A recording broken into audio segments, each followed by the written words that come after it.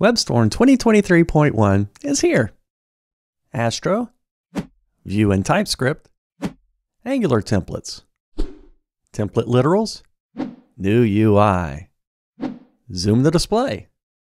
Lots to show. Let's take a look. Web frameworks got a lot of love. We now have support for Astro. First, go to the marketplace look up the Astro plugin, and install it. You'll now get Astro support for syntax highlighting, formatting, completion with automatic imports, navigation, and more. Lots of work on TypeScript in Vue templates. Set the lang attribute to get TypeScript. You'll get inlay casting, improved type narrowing, inferred types in QuickDocs, and more. Also for Vue, completion for custom component events. Angular support is improved for Angular template symbols.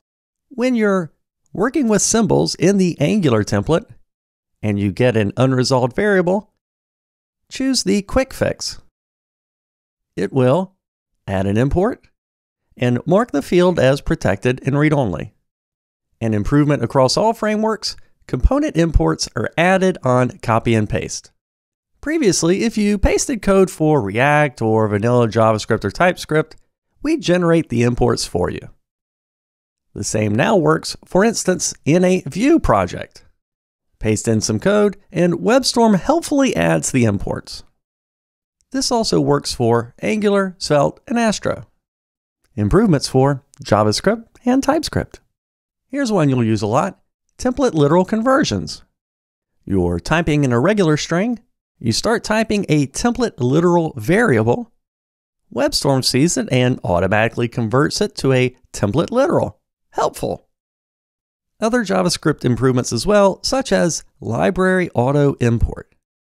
WebStorm's markup and CSS systems got some work. Here's one that's popular Tailwind CSS configuration. WebStorm 2023.1 has settings support for Tailwind CSS options, such as class attributes or even experimental ones like Tailwind CSS.experimental.config file.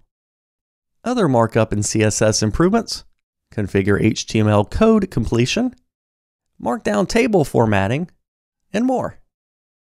Ah, the star of the show, new UI. Let's start with how to Enable New UI. In Settings, the Appearance section now has a New UI panel. Here you can enable and configure it. After a restart, you're in the new UI. Arrange your new UI workspace with vertical split for tool windows. We know we can split the editor and show two files at once.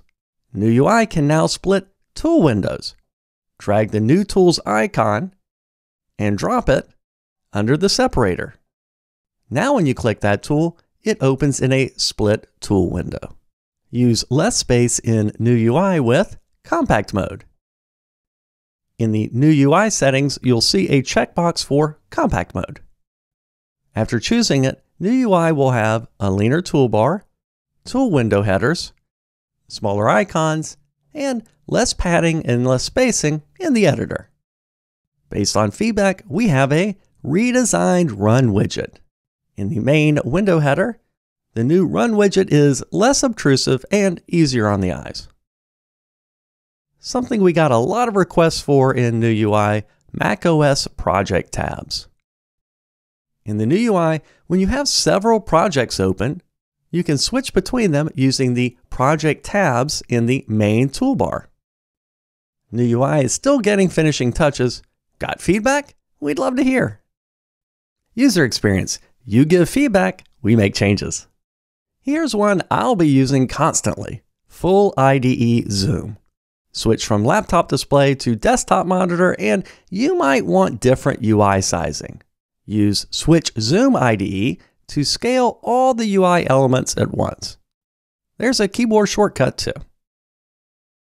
Much, much more in user experience, such as remembering the size for each tool window as a layout option, configure actions on Save for new projects, ML powered search for classes, and more. People love our version control integration. 2023.1, even better. Do a lot of pull requests? 2023.1 has improved GitHub code review. First, in the pull request tool window, each pull request that you open gets its own tab. The tab instantly displays the list of changed files with a button for the most relevant action based on the pull request's state. That's not all for our ever busy VCS team. Auto completion in the Create New Branch pop up, improvements to branches pop up itself, VCS status color hints in the structure view, commit checks run in the background, and more. That's a brief look at the many improvements in WebStorm 2023.1. We have a link to the release notes with all the details in the video description. Enjoy this release. Thanks for watching, and thanks for using WebStorm.